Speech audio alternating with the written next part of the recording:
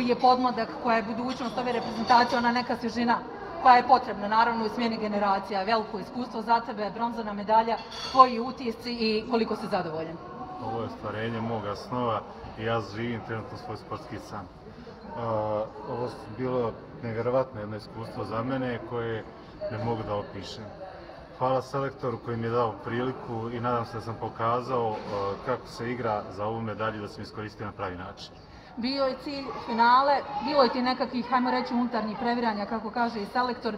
Tako se to dešava u sportu. Šta misliš, gdje je taj trenutak bio kada je možda prijelomni da se ipak bolje odigra protiv e, Rusije, pa bi onda dalje sigurno i bilo neko finale?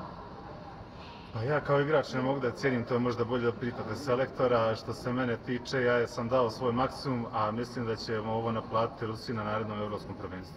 Svaka čast i mi to očekujemo.